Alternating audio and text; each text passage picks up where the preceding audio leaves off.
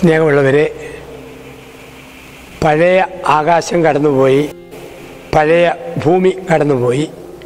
ഒരു പുതിയ ആകാശം ഒരു പുതിയ ഭൂമി. അതാണ് പുതുവർഷം.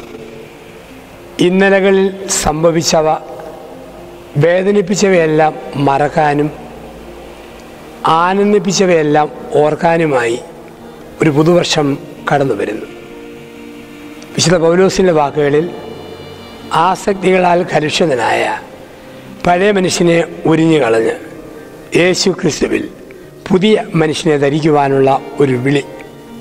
എന്താണ് പുതുവർഷം? രണ്ടായിരത്തി ഇരുപത്തൊന്ന് ഡിസംബർ മുപ്പത്തൊന്നും രണ്ടായിരത്തി ഇരുപത്തിരണ്ട് ജനുവരി ഒന്നും ഒരുപോലുള്ള ദിവസങ്ങൾ തന്നെയാണ് പക്ഷെ മനുഷ്യൻ ഒരു അതിർത്തി ഇട്ടു ഒരു മാർജിൻ ഇട്ടു.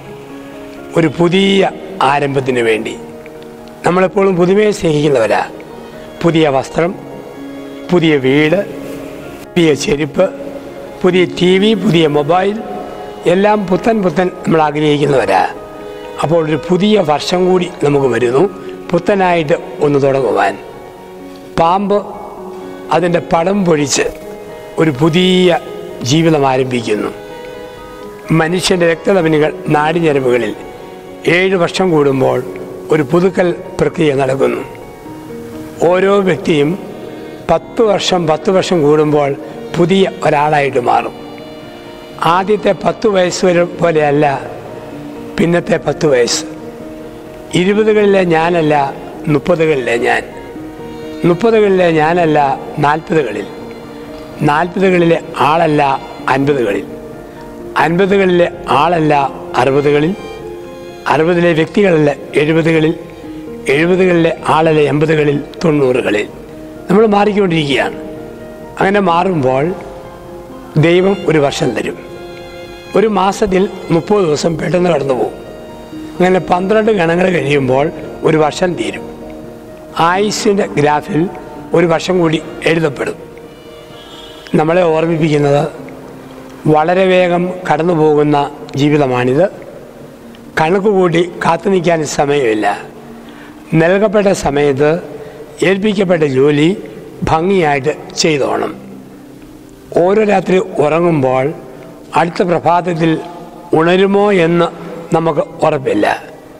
അടുത്ത പ്രഭാതത്തിൽ എന്ത് സംഭവിക്കുമെന്നും നമുക്ക് ഉറപ്പില്ല. വിട്ടവൻ വിളിക്കുമ്പോൾ പോകാൻ തയ്യാറാകണം. ഓരോ നിമിഷവും നമ്മൾ മരിച്ചുകൊണ്ടിരിക്കുകയാണ്.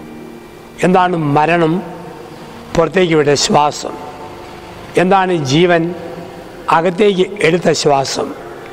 പുറത്തേക്ക് വിട്ട ശ്വാസത്തെ അകത്തേക്ക് എടുക്കാൻ പറ്റിയില്ലെങ്കിൽ അതിന് വിളിക്കുന്ന വാക്ക് മരണം. അതുകൊണ്ട് കാരണവന്മാർ മരണത്തെ വിളിച്ച വാക്ക് കാറ്റുപോയി എന്നാണ്. കാറ്റുപോയി.